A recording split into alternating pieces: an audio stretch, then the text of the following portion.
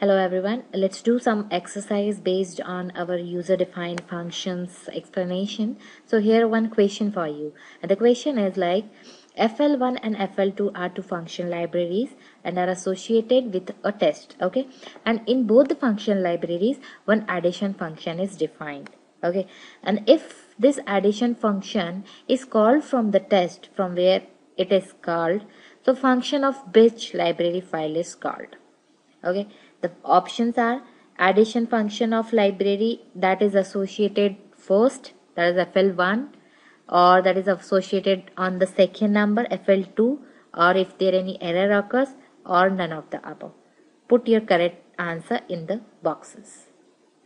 And the right answer is the first one FL1.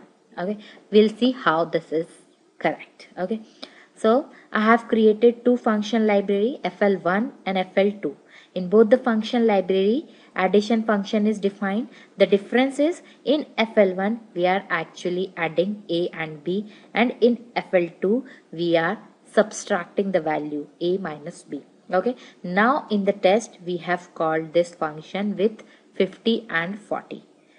The one thing is we have associated this file in this manner the first is fl1 is associated then second is fl2 okay? Now let's execute the code. The answer is it will actually add the value. Let's execute this. See the answer is 90 okay? So if the same function is defined into the multiple library file qtp calls that function which is defined into the first library file. Okay. Now if we change the order here let's say we'll associate fl2 first here. Okay. Apply okay now if i execute this code it will return the value 10 let's execute this.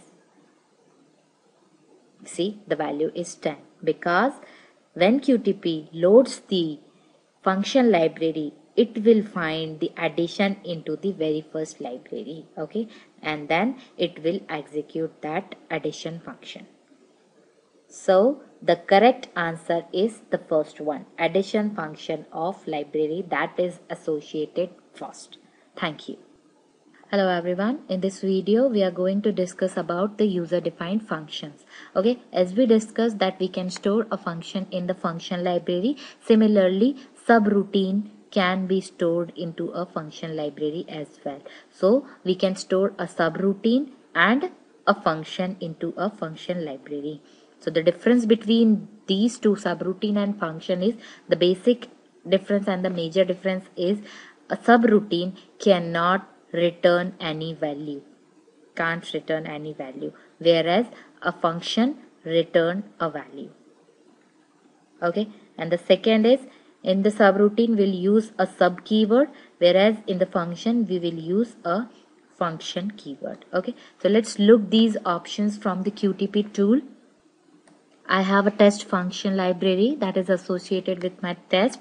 Okay, so to write a function, put the function keyword. Okay, and after the function keyword, the name of the function. Let's say we'll do the addition of two numbers. Okay, then if the parameters are associated then pass the parameters. Let's say we have two parameters a and b. Okay? So this is how you define a function. Let's do the addition within a function. C equals to a plus b. Okay? Now we want to return a value c from this function. To return a value write the function name and assign the value that you want to return to the function. So the line 3 means the addition function is returning a value c. So like other language you do not need not to use the returns keyword or something like that. This is the way you can return a value from a function. Okay. Similarly, a subroutine can be defined like this with a sub keyword. Let's say create a function square value and will pass only one parameter okay now in this if uh, let's say uh, we will do a square of the parameters that we have passed like this now if you write the statement like this equals to c the line number 8 will give you an error. Why? Because subroutine cannot return a value. It can only execute the statement that is returned within, within a subblock. Okay, so use the subroutine in that case where you do not want to return a particular value.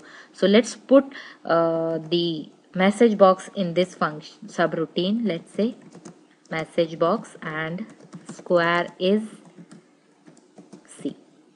Okay, so here in function library we have one function and we have one subroutine. Okay, now how to call a function from test?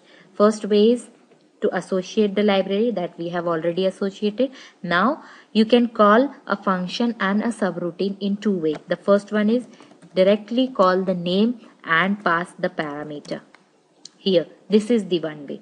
The second is use the call keyword and write the function name and then use brackets. Now the difference between these two is if you are using a call keyword then you have to pass the parameters within a brackets. It means brackets are mandatory when you are using a call keyword. Whereas if you're not using a call keyword, you need not to provide a bracket. This is the only difference. Now, the third way is if you are assigning a variable as a function like the let's say I have this one variable and I want the return value of addition function into this variable. So the like this you can do it. Addition and again in this case you need to pass the parameters into the brackets. When you are returning a value into a variable then in that case also a bracket is required. In the similar manner you can call a subroutine as well subroutine. What the name of subroutine is that is a square square value and you can pass like say 10 let's execute this code. Uh, let me comment first these two lines okay? From here. Okay now we are capturing this let's say put one message box also and we'll write here addition is where add. Okay now if we execute this see first it will do the addition that is 30 and the second it will execute our square value function and the square is 100 okay so this is how you can create a function and a subroutine. Okay now the second thing is this is a function we have simply created where a value is returned from a function. Now if you want to return an object from a function okay let's say we'll write one function here. Um, the name is test function. Okay uh, let's say this does not contain any parameter. Now if I have defined one object set object here and my object is this browser okay this is an object that is stored into our function object repository okay now I want this object to get returned from this function so to return any object from a function, you have to write a set keyword. Set function equals to obj.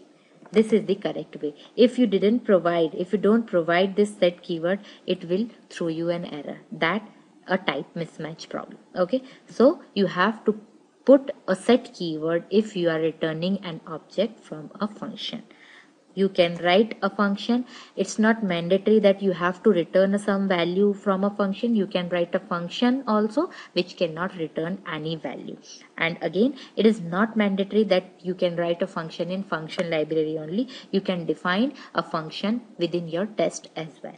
Okay? So this is all about the function and a subroutine into a qtp thank you